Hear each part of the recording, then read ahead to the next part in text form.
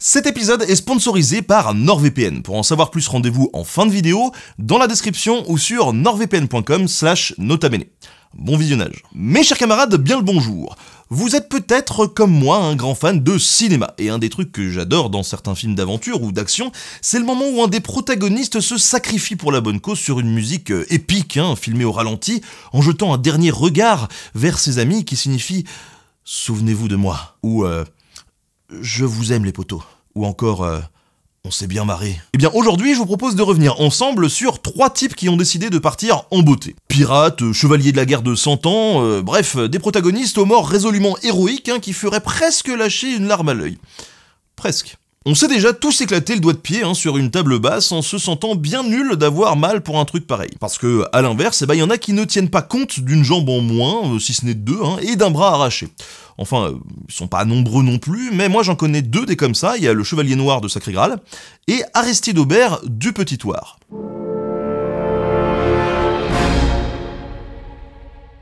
La famille Tourangelle Aubert du Petit Oir, anoblie en 1714, est une famille de militaires. C'est pourquoi, sur les quatre fils de Gilles-Louis Antoine, capitaine au régiment de Rouergue, au moins deux sont envoyés au collège militaire de la Flèche, dans la Sarthe. Louis-Marie, né en 1758, qui deviendra un botaniste célèbre, et l'intrépide Aristide, né en 1760. Les deux jeunes garçons sont fascinés par les aventures de Robinson Crusoe, mais des deux, c'est Aristide le plus téméraire, qui rêve plus que tout de voguer au large sur les mers du monde. Au point qu'il tente avec un camarade de fuguer à 9 ans pour s'embarquer comme mousse à Nantes, avant d'être ramené par la peau des fesses hein, au collège. Mais l'envie de s'engager dans la marine est désormais bien ancrée dans la tête du jeune Aristide. Un peu trop même, comme on le verra. Mais pour le moment, il va à l'école militaire de Paris. Un peu loin de la mer donc. Et il est destiné à l'infanterie. Il n'est clairement pas chaud, mais puisque les réformes du moment ne prévoient pas de poste dans la marine, eh bien, il finit dans le régiment du Poitou. Yeah, troll fun mais bon, il a pas dit son dernier mot. Hein. En 1776, le célèbre navigateur et explorateur James Cook annonce monter une troisième expédition. Aristide, 16 ans, se porte aussitôt volontaire. Mais pas de bol, il n'est pas sélectionné peut tout de même se consoler quelques années plus tard, sans doute, en apprenant que pendant ce voyage, Cook finit tabassé à mort par une tribu hawaïenne. N'empêche que pour l'instant, l'Aristide, bah, il est condamné à rester à terre. Hein. Cela dit, euh, vu la mort qui l'attend, valait peut-être mieux la tribu hawaïenne. Sa chance arrive enfin avec la guerre d'indépendance américaine, qui oppose dans un premier temps, à partir de 1775, les colons américains aux Britanniques. Et quand il s'agit d'emmerder les Anglais, personne, je dis bien personne n'est plus fort que la France. Dès 1778, la France du jeune Louis XVI s'engage donc aux côtés des colons pour lutter contre l'impérialisme britannique. Avec cette déclaration de guerre, Aristide, 18 ans, fonce à Rochefort où se trouve l'un des plus gros arsenaux de France, passe des examens et peut enfin embarquer sur un navire, le Fendant, comme apprenti officier. À bord de celui-ci, le jeune fougueux et imprudent Tourangeau participe à de nombreux combats sur l'Atlantique, que ce soit en Bretagne, au Sénégal ou aux Antilles où il fait ses armes, ne se ménageant jamais, et ce jusqu'en 1782. On le voit ensuite arpenter la Méditerranée, la Manche, la mer de Marmara, entre l'Anatolie et les Balkans, afin de parfaire ses connaissances. On ne sait pas vraiment ce qu'il a fait au début de la Révolution, mais étant noble et officier d'un côté, et ayant participé à la guerre d'indépendance américaine de l'autre, il passe entre les mailles du filet, au point qu'il est carrément promu lieutenant de vaisseau en 1792. Je vous passe alors les détails de sa vie tumultueuse hein, pour simplement vous résumer qu'il a quelques problèmes avec les révolutionnaires et qu'il décide de s'exiler pendant la terreur. Il revient en 1795 et pour un ancien aristocrate, il est plutôt bien accueilli hein, puisqu'il est fait capitaine du Tonnant, un vaisseau de guerre de 80 canons. Et c'est à son bord qu'il va rentrer dans l'histoire. Début 1796, un jeune officier corse, le futur Napoléon Bonaparte, devient général en chef de l'armée de l'intérieur avant d'être mis à la tête d'une petite armée, devant ouvrir un front de diversion face aux Autrichiens en Italie. C'est le début de la célébrissime campagne d'Italie où il dépasse clairement ses objectifs, bat les Autrichiens à plate couture 5 fois de suite, tout en étant inférieur en nombre. Il revient à Paris victorieux en 1797. Et ça, ça rend Napoléon très populaire. Trop même. Du coup, le directoire, réunion de cinq directeurs qui dirigent désormais le gouvernement, décide de l'écarter un peu de la scène politique, acceptant son projet d'aller envahir l'Égypte pour emmerder les Anglais. Et c'est là que nous retrouvons notre fougueux passionné de la mer et de l'aventure, Aristide Aubert du Petit Oir, qui participe, toujours à bord du Tonnant, à l'expédition de 200 navires et 35 000 hommes qui quittent Toulon le 19 juin 1798. Ces mouvements de troupes inquiètent sérieusement les Anglais, qui ne savent pas encore quel est le but du général corse. Dans le doute, il confie une petite flotte à un brillant et courageux contre-amiral, Horatio Nelson. Un gars qui a vu tant de choses qu'il lui manque un œil. Et un bras. Bref, l'éclopé suit Bonaparte tant bien que mal en affrontant les tempêtes et continue à se diriger vers l'Est. Il conclut que le but de l'expédition française est l'Égypte. Croyant avoir du retard sur les Français, il fonce vers Alexandrie, qui en effet est l'objectif de Bonaparte. Et il le dépasse hein, sans le savoir. Nelson arrive à Alexandrie le 28 juin, il ne voit évidemment pas la flotte française, et vogue en direction du nord vers l'Anatolie à la recherche de Napoléon. Celui-ci arrive deux jours plus tard, le 1er juillet, à Alexandrie, où il s'empare de la ville le lendemain. Ballot. Il envoie ses hommes à terre mener la fameuse expédition d'Égypte, tandis que sa flotte, trop grande pour le port d'Alexandrie, va mouiller dans la baie d'Aboukir, plus à l'ouest. Quand il apprend la prise d'Alexandrie depuis la Grèce, Nelson doit se sentir euh, un peu con, hein, et y a de quoi. Et le Nelson, il va mettre sa rage au service de la couronne. Il revient illico à Alexandrie le 1er août. Les 13 navires de ligne français, dont le Tonnant, n'y sont pas, mais il les découvre à Aboukir. Bruet, dirigeant la flotte française, n'a clairement pas fait du bon boulot. Ses navires sont mal armés et il n'a pas envoyé d'éclaireurs pour couvrir ses arrières. Il est donc surpris par l'arrivée soudaine de Nelson et ne s'avère pas être un fin stratège pour sortir de ce bourbier. Plutôt que d'aller affronter l'ennemi en haute mer avec plus de mobilité, comme le conseille le bouillant Aristide, Bruet opte pour une ligne de combat unie, laissant des endroits vulnérables où les 13 navires de ligne de Nelson, suivis de ses 4 frégates, pourront passer. Pour couronner le tout, certains de ses capitaines n'ont pas suivi ses ordres, fragilisant encore sa stratégie, sans compter que le tiers des marins est à terre, en quête de provisions. Comme vous vous en doutez, ça part un petit peu mal donc. La bataille commence à 18h20, quand les deux navires français ouvrent le feu sur les Britanniques, alors même que tous les capitaines français sont encore à bord du vaisseau amiral, l'Orient. Un engagement qui tourne vite au désastre pour la flotte française. Aristide et son équipage, eux, se battent comme des fauves. Ils endommagent fortement un navire anglais, le HMS Majestic, puis en poussent un autre, le HMS Bellérophon, à se rendre. Avec l'arrivée des renforts britanniques, notre héros se retrouve pris entre deux feux. Sous les canons et la mitraille, il se fait écraser le pied et briser la jambe, voire les deux jambes et le bras, selon certaines sources. Une simple égratignure pour Aristide, hein, qui va quand même suivre les conseils de ses officiers et part à l'infirmerie promettant de revenir vite. Alors qu'il vient de se faire amputer, Aristide entend au loin l'explosion de l'Orient le navire amiral. Et notre bonhomme, c'est pas le genre à se planquer quand la déroute est proche. Hein. Il ne laisse même pas le temps au chirurgien de lui faire un pansement solide et il repart tant bien que mal sur le pont, pissant le sang, installé sur un sac de céréales pour tenir debout. Bah, vraiment avec des guillemets, hein, parce que sans jambes. Pourtant, l'espoir de victoire est mince et le navire est à la dérive. Pour Aristide, c'est l'occasion de partir en beauté. Lui et son second décident de se sacrifier en s'immobilisant sous le feu de deux navires anglais pile dans l'axe pour protéger d'autres navires français. Les mâts du tonnant sont brisés, sauf celui du pavillon qui tient comme il peut. Et alors que les Anglais, constatant partout ailleurs la défaite française imminente, lui demandent de se rendre, certifiant qu'il s'est plus que bien battu, Aristide montre son pavillon qu'il a fait clouer au reste du mât. Refusant de baisser ses couleurs, il encourage son équipage à ne jamais se rendre, hurlant à plein poumon avant de tomber dans les pommes et de mourir. Son dernier ordre Lancer son corps à la mer pour éviter que les Anglais ne le prennent. La bataille est perdue, mais il rentre dans la légende. Enfin presque, parce que pendant les guerres napoléoniennes, il y en a plus d'un qui a l'occasion de prouver sa bravoure avant de crever, si bien qu'aujourd'hui, bah, on avait un peu oublié le gus. Hein. Mais respect Aristide, hein, nous, euh, on t'oublie pas.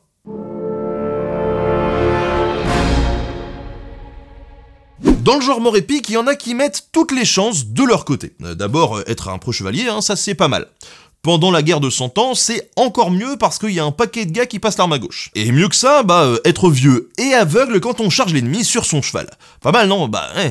c'est l'histoire incroyable de Jean Ier de Bohême et vous allez le voir, ça vaut le détour. Au début du XIVe siècle, la France est un pays prospère. Le plus peuplé d'Europe, aux affaires assez florissantes, à la surface immense et à la puissance inégalée. Ces nobles, ils sont les plus redoutables combattants, élevés dans les codes de l'honneur et de la chevalerie. Habitués à se battre ensemble, à cheval, ils combattent leurs ennemis un par un, face à face, préférant les capturer pour ensuite les échanger contre rançon. Un style de vie qui a ses avantages, hein, ils se font pas mal d'argent et surtout ils risquent moins de se faire tuer. Comme ça, euh, tout le monde est content.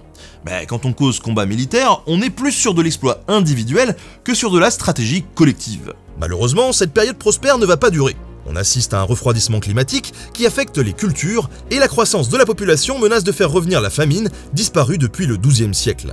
Tout ça, plus une grande diversité des cultures pour le plaisir culinaire des plus riches, crée une pénurie de produits de base. Une baisse des prix, une baisse des revenus des nobles, et donc une augmentation des impôts. Quelle que soit l'époque, ça fait jamais plaisir. Les nobles, comme le roi, préféreraient donc une bonne guerre. Les premiers parce qu'ils savent que ça leur rapportera des rançons, ce qui, vu le coût d'entretien de base du chevalier, les arrangerait volontiers. Le deuxième parce qu'en cas de guerre, il a le droit de lever des impôts exceptionnels. Donc l'idée en traverse quelques-uns. Nos amis les Anglais, eux, ont un pays moins peuplé et moins riche. Côté militaire, ils ont progressivement abandonné la chevalerie féodale classique, trop onéreuse à entretenir, pour se tourner vers une modernisation de l'armée. Avec une stratégie plus défensive, une conscription de soldats moins riches que des nobles, moins équipés mais plus efficaces à distance, comme des archers et des arbalétriers. On ajoute à ça une politique de chevauchée permettant d'aller piller les terres de l'ennemi loin et rapidement. Et enfin, une cavalerie légère, tout aussi peu coûteuse, mais rapide et efficace. Certains disent d'ailleurs qu'ils ont piqué toutes ces techniques aux Écossais qui les ont utilisées contre les Anglais, avec succès, lors de leur seconde guerre d'indépendance. En plus de ça, le refroidissement climatique et l'essor de la population au détriment des surfaces agricoles vaut aussi pour eux et a même des effets plus dévastateurs, puisqu'ils sont obligés d'importer plus. Typiquement, grands consommateurs de vin, bien plus potable que l'eau des puits, les chutes de température les empêchent d'en produire dans le sud de l'île comme par le passé, et ils doivent donc en faire venir de la seule terre qu'il leur reste en France, le duché de Guyenne. Et là aussi, ils jalousent les Français, qui depuis deux siècles les ont dépouillés progressivement de leur grand empire plantagenet. La Normandie, le Poitou, le Limousin, l'Anjou, l'Aquitaine, ils ont tout perdu et il ne leur reste plus que ce mince duché de Guyenne sur la côte atlantique. Et encore, le roi de France a autorité sur celui-ci puisque le roi d'Angleterre doit lui rendre hommage en tant que duc. Donc, euh, des deux côtés, s'il y a un prétexte pour se mettre sur la gueule passer par là, bah, on serait pas contre, hein. Or, il s'avère que les Français, bah, ils ont quelques petits soucis de succession. Pour la faire courte, Philippe le Bel meurt en 1314. Pas très grave, il a trois fils. L'aîné, Louis X le Hutin, monte sur le trône et épouse en seconde noces Clémence de Hongrie, sa première femme, Marguerite de Navarre, ayant été répudiée pour cause d'infidélité. Mais paf, Louis meurt en 1316. Pas grave, Clémence est enceinte et accouche bientôt du nouveau roi de France, Jean Ier, dit le posthume parce qu'il meurt 4 jours plus tard. Du coup, l'héritière du trône devient Jeanne de Navarre, première fille de Louis et de Marguerite. Sauf que les nobles n'en veulent pas de peur de voir débarquer un beau prince étranger un jour, qu'il l'épousera histoire de devenir roi de France. Donc, on la déclare bâtarde et on l'évince. Ce qu'on justifiera 30 ans plus tard par une loi prétendument très ancienne mais dans les faits flambant neuve, la loi salique. Comme quoi la couronne peut se transmettre que par les mâles. C'est donc le frère de Louis X, Philippe V le Long, qui monte sur le trône. Mais paf, en 1322, rebelote. Il meurt sans enfant mâle. Et c'est donc Charles IV, le bel aussi, qui devient roi pour mourir sans héritier, lui aussi, en 1328. On dirait presque que les mecs se sont passés le message, hein. une situation pas facile facile. Les nobles se concertent pour trouver un substitut. Ils ont deux solutions. Soit Édouard III, roi d'Angleterre, fils de la fille de Philippe le Bel, Isabelle de France. Soit Philippe de Valois, fils du frère de Philippe le Bel, Charles de Valois. On finit par choisir Philippe, qui devient Philippe VI, puisqu'il descend des Capétiens par les mâles, tandis qu'on se demande si Isabelle de France, elle, peut transmettre un droit à la couronne qu'elle-même ne peut pas exercer. En vrai, on veut surtout pas d'un roi étranger sur le trône, comme avec Jeanne de Navarre qu'on a vu tout à l'heure. Édouard III l'a donc mauvaise, mais il ne moufte pas. Même quand il doit venir rendre hommage à Philippe VI pour son duché de Guyenne. C'est pas bon pour l'ego, Philippe abuse, mais c'est qu'un mauvais moment à passer. Hein. Sauf que Philippe, bah, il va trop loin. Et histoire d'emmerder son cousin, non seulement il soutient les nobles écossais rebelles à Édouard, mais en plus, il insiste bien sur le fait qu'en Guyenne, c'est lui qui a le dernier mot, ce qui a toujours gonflé les Anglais. Ah, là, c'en est trop, hein. Édouard a bon fond, mais faut pas déconner. Il ressort ses droits dynastiques et la guerre éclate le 7 octobre 1337. Et en soi, euh, même pas tellement pour récupérer le trône, hein, juste pour qu'on arrête de l'emmerder avec la Guyenne. Pendant plusieurs années, le conflit va donc se limiter aux périphéries des deux royaumes.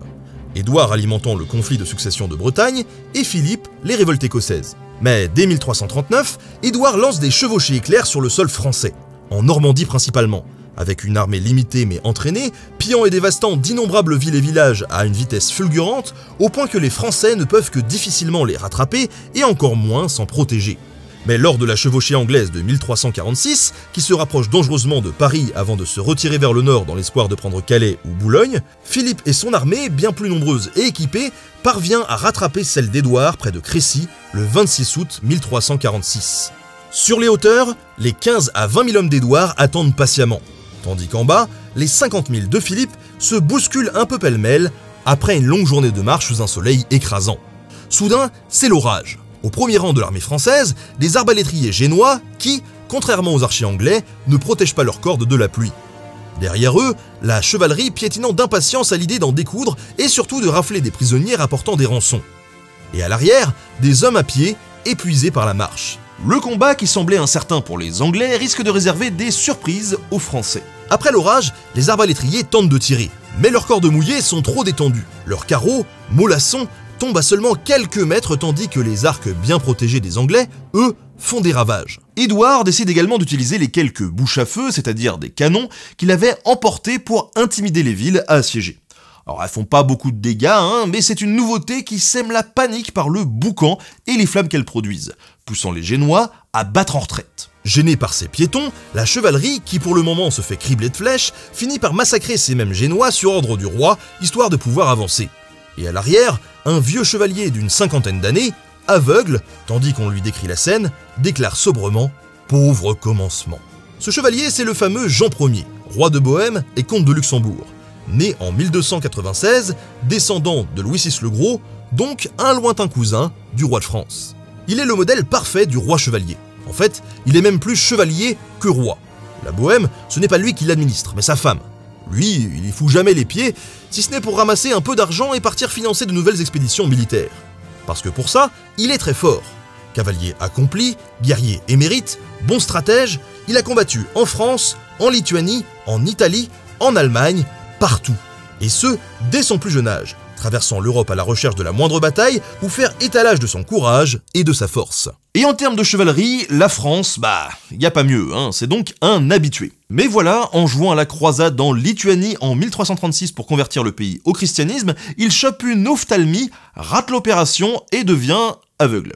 Ce qui est pas vraiment over pratique pour se battre. Mais bon, ça l'arrête pas pour autant, hein, puisqu'on le retrouve à Crécy, à 50 ans, en armure sur son cheval, enchaîné à deux autres chevaliers afin d'être guidé malgré sa cécité, demandant expressément à être mis en première ligne, entouré de ses hommes. Il entame ainsi la charge chaotique des chevaliers français qui veulent à tout prix montrer à la piétaille ce que c'est que de se battre avec honneur et bravoure. Seul avantage, là où tous sont aveuglés par le soleil que les Anglais, eux, ont dans le dos, lui, bah, il y voit déjà plus rien. Bon, je sais, hein, j'essaye de voir un petit peu de positif là-dedans, faut savoir se contenter de peu. La fine fleur de la chevalerie charge donc, mais ne parvient pas, dans la mêlée, à passer les archers anglais bien resserrés à l'abri des haies qui abattent les chevaux sous des déluges de flèches. Et là où les Français rêvent de faire des prisonniers, les Anglais, eux, s'en foutent totalement. Ils sont loin de leur base, et rompre les rangs pour aller aider un chevalier à se relever, c'est risquer de s'en prendre une. On massacre donc à tout va jusqu'à la nuit tombée.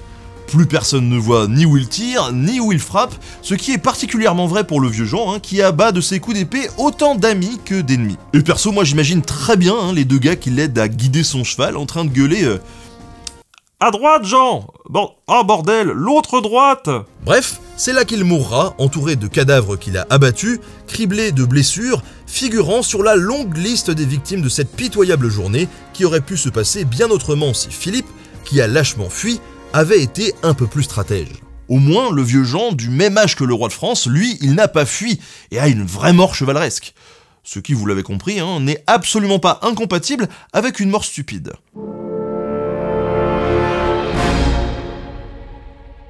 Un des meilleurs moyens pour que vous passiez à la postérité après votre mort, eh c'est de vous forger une légende terrifiante, qui se transmettra de génération en génération.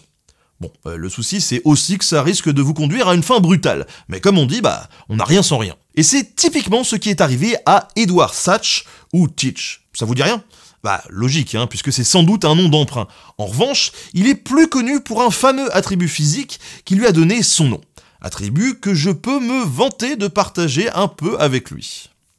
Et vous avez l'esprit vraiment beaucoup trop tordu. Hein. Je parle de Barbe Noire que vous connaissez forcément au moins de nom. Mais je vous le dis tout de suite, oubliez Pirates des Caraïbes, Black Sails ou même Assassin's Creed, ça sera moins sanglant, un peu plus vénal, mais la fin est tout aussi savoureuse. Nous sommes au début du XVIIIe siècle, l'âge d'or du capitalisme et du commerce triangulaire. Jamais il ne s'est fait autant de profits. Jamais il n'y eut autant d'écart entre les simples marins ou paysans et les riches propriétaires et marchands. Beaucoup de paysans ruinés et dépouillés de leurs terres par leurs créanciers ou leurs seigneurs, devant une vie de plus en plus dure et chère, s'embarquent comme marins dans la marine royale ou marchande, faute de mieux, pour y travailler dans des conditions épouvantables et pour un salaire peu reluisant. Tu prends des types désespérés qui finalement deviennent encore plus désespérés, et le résultat, eh c'est que ça donne des types euh, méga désespérés, hein, qui rêvent d'un monde meilleur et d'une existence plus douce. Certains murmurent d'ailleurs les mots mutinerie et piraterie, mais peu franchissent le pas pour le moment. Allez, les représailles, hein, même si elles sont pas encore euh, à leur apogée, bah, elles sont déjà violentes. Beaucoup, dans la marine royale britannique notamment, se contentent donc de leur situation. Et celle-ci, heureusement, elle va légèrement s'améliorer. Enfin, euh, faut voir dans quelle mesure, hein, est-ce que ça va leur coûter? Parce que comme vous le savez bien, eh bah, ce qu'on nous prend d'un côté, on nous le reprend de l'autre. La guerre de succession d'Espagne explose en 1701, opposant la plupart des monarques européens, comme la France, l'Espagne, le Saint-Empire, l'Autriche, la Grande-Bretagne et d'autres. Et cette guerre se fait aussi en mer, surtout à une période où l'on tire beaucoup de ressources et de richesses des colonies et du commerce extérieur. Les marins deviennent alors indispensables. On en engage beaucoup, on améliore un peu leurs conditions de vie, comme le salaire, la nourriture, bref, on les chouchoute. S'accommodant du coup fort bien de ce retournement de situation, beaucoup y voient l'occasion d'entamer une carrière de corsaire, c'est-à-dire de marin sur un navire qui a le droit de taper, au nom de la couronne, sur ses ennemis. Une vocation hautement encouragée par les pouvoirs en place, donc, qui voient une merveilleuse main-d'œuvre à bas prix pour aller emmerder le voisin. Mais toutes les bonnes choses ont une fin. Ainsi, en 1713, les deux traités d'Utrecht mettent fin à cette guerre. Et si beaucoup s'en réjouissent, notamment les propriétaires et les marchands, les marins et les corsaires, eux, le voient d'un mauvais œil. Et ils ont de quoi Pour eux, les conséquences sont dramatiques. Leur salaire baisse, parfois de moitié, leur portion de nourriture aussi, on les maltraite plus qu'avant puisqu'on a moins besoin de leur aide, et leurs effectifs en prennent un sacré coup aussi. Dites-vous qu'en 1712, il y a 49 860 marins dans la Royal Navy. Deux ans plus tard, en 1714, ils ne sont que 13 470, presque trois fois moins. Autant vous dire que tous trouvaient la guerre plus confortable et plus douce. Et puisque la plupart d'entre eux n'ont connu que celle-ci durant la majeure partie de leur vie, eh bien ils sont bien décidés à la continuer. Après tout, hein, comme certains le disent, euh, cette paix elle n'est pas vraiment valable, puisqu'on leur a pas demandé leur avis. Dans un premier temps, on se retrouve donc avec des corsaires au chômage forcé, qui continuent à attaquer malgré la paix leurs anciens ennemis. Mais attention, ils n'attaquent jamais le pays pour lequel ils se battaient. Ils se disent encore corsaires pirates. Ah, ils ont des principes quand même. Et c'est dans cette période qu'on entend pour la première fois parler d'Ed Satch. Comme beaucoup de pirates, on sait peu de choses sur lui avant ses éclats en tant que forban. Certains disent qu'il est né à Bristol, d'autres en Caroline du Sud, voire éventuellement en Jamaïque vers 1680. Peut-être même d'une famille assez aisée, hein, puisqu'il savait lire et écrire, ce qui n'était pas très courant à l'époque. Arrivé dans les Caraïbes à la fin du XVIIe siècle, il s'est fait corsaire pendant la guerre de succession d'Espagne, où il semble déjà faire ses preuves, avant, comme tant d'autres, de refuser d'entrer dans la Navy ou la marine marchande pour un salaire de misère. C'est donc là qu'il se fait pirate. Et au début du XVIIIe siècle, il n'y a pas meilleur endroit pour un pirate que l'île de New Providence, aux Bahamas, avec sa capitale Nassau, dont on dit qu'elle compte jusqu'à 800 forbans. Satch rejoint donc l'île peu après 1713, et en 1716 fait la connaissance de Benjamin Hornigold, pirate déjà renommé, qui le prend à son bord et dont il devient vite le second. Ensemble, ils écument les mers, et Hornigold lui confie rapidement un sloop, c'est-à-dire un petit navire, à bord duquel il se fait remarquer. Peu après, ils capturent ensemble en novembre 1716 la Concorde, un gros navire négrier dont Satch est fait capitaine. L'énorme vaisseau le plus grand de toute la flottille pirate est renommé le Queen Anne's Revenge. Et à ces 20 canons, on en rajoute 20 autres, ce qui lui procure une incroyable puissance de feu pour un navire pirate que les Anglais ne parviennent pas à arrêter. C'est à cette même période que Satch quitte Hornigold, jugé pas assez pirate par son équipage, hein, puisqu'il refuse d'attaquer les navires britanniques pleins de richesses, sous prétexte qu'il est lui-même britannique. Quel amateur. D'ailleurs, Hornigold, pour l'anecdote, hein, acceptera une grâce royale et se mettra même à chasser les pirates par la suite. Un vrai social traître, quoi. Satch se trouve un autre partenaire, avec qui il capturera près de 18 navires. Steed Bonnet, qu'on surnomme le Gentleman. C'est aussi dans ces eaux-là qu'il commence à cultiver son apparence. Satch n'est, d'après les sources qu'on en a, pas très porté sur la violence. En tout cas, on sait qu'il ne maltraitait pas ses prisonniers par exemple. Mais ça ne l'empêche pas de le laisser supposer, afin de persuader l'ennemi de se rendre sans combattre, comme beaucoup de pirates le préféraient. Déjà très grand et large d'épaules, avec une barbe longue et hirsute qui monte jusque sous les yeux, il l'entortille de rubans et de mèches qu'il allume parfois, se coiffe d'un grand chapeau noir sous lequel il met des allumettes enflammées, porte de grandes bottes montant jusqu'aux genoux et un grand manteau souvent rouge. On commence ainsi à l'appeler Barbe Noire, et sa réputation le précède de plus en plus, lui prêtant des atrocités qu'il n'a sans doute jamais commises. Et comme prévu, hein, avec tout cet attirail, beaucoup de ses proies se rendent sans combattre. Comme quoi, euh, tout est dans la mise en scène. Il écumera ainsi les mers, réunissant une forte flottille avec laquelle notamment il assiège en mai 1718 Charleston, à l'époque Charlestown, pour obtenir entre autres des médicaments et ainsi guérir son équipage et éventuellement d'autres forbans selon certaines sources. Ah, on lui donnerait presque le bon Dieu en confession à ce garçon. Hein. Bref, à l'apogée de sa puissance, il finit par échouer le Queen Anne's Revenge sur un banc de sable, volontairement, hein, semble-t-il, car tout comme certains membres d'équipage qui l'abandonnent sur de petites îles, elle est devenue un peu trop encombrante pour quelqu'un souhaitant faire profil bas. Car oui, il y a un moment où notre célèbre pirate se range et accepte le pardon royal. C'est pas bon pour la légende, hein, c'est sûr, mais ça a pas duré très très longtemps, rassurez-vous. Et puis bon, moins on est nombreux, bah euh, plus les parts sont juteuses. Et ça, bah, hein, vous avais dit que ça allait être un peu vénal. Il reprend donc bien vite ses activités, avec un plus petit équipage, mais cette fois-ci plus ou moins légalement. Charles Eden, le gouverneur de la Caroline du Nord, région moins riche que ses voisines de la Caroline du Sud ou de la Virginie, est moins regardant sur la provenance des marchandises et n'hésite pas à faire affaire avec les pirates. Satch fait donc son petit bonhomme de chemin conduisant ses expéditions depuis la petite île d'Okrakok, épousant même la fille d'un planteur qui avait 16 ans, soit 20 ans de moins que lui. On a alors bien du mal à imaginer comment Pépère Barbe Noire peut s'offrir une mort épique. Rassurez-vous, ces exactions, couvertes par le gouverneur et le juge de Caroline du Nord, sont trop dérangeantes. Certains colons vont directement se plaindre au gouverneur de Virginie, Alexander Spotswood, qui entend bien mettre un terme à tout ça. Il va donc profiter du passage de deux frégates, le Lime et le Pearl, pour en prendre les meilleurs hommes, avec à leur tête le lieutenant Ménard, et les envoyer capturer ou tuer les Forbans à Okrakok. Ce qui dépasse totalement sa juridiction, hein, puisqu'il n'en est pas gouverneur. Mais bon, il s'en fout. Devant cette nouvelle menace, Barbe Noire ne semble pas s'inquiéter faisant toujours la fête sur la plage d'Okrakok, avec son équipage assez réduit, ne cherchant même pas à s'enfuir. Mais le 21 novembre 1718 au matin, ils sont surpris par les deux petits sloops confiés à Ménard, sur lesquels ils ouvrent le feu. Une bordée est tout particulièrement meurtrière, puisque Ménard y perd apparemment une vingtaine d'hommes, soit le tiers de ses effectifs. Mais malgré ça, Satch, lui, n'en a avec lui qu'une vingtaine, 25 tout au plus. L'abordage, inévitable puisque Ménard rattrape le pirate, sera donc sanglant. Barbe Noire, à bord de son navire, l'Adventure, préfère prendre les devants et aborde le sloop de Ménard, jetant au préalable des grenades et s'y précipitant avec ses derniers fidèles. Mais arrivé à bord, d'autres hommes surgissent de la cale et encerclent les pirates.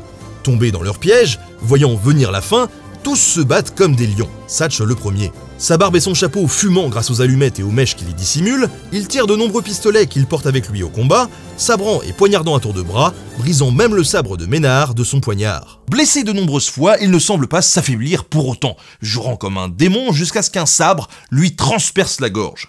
Il se bat alors encore un peu, mais assailli de toutes parts, il s'effondre enfin. Ménard le fait décapiter pour suspendre sa tête au beau près de son navire mais avant de jeter le corps du satané pirate à la mer, il constate les blessures.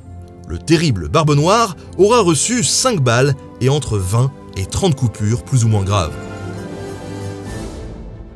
Une sorte de Chuck Norris de l'époque, quoi. Sauf que Chuck, lui, bah, il mourra jamais. Et voilà les amis, c'est la fin de cet épisode, ça change un petit peu des morts à la con, hein, même si parfois on flirte avec la limite entre épique et absurde.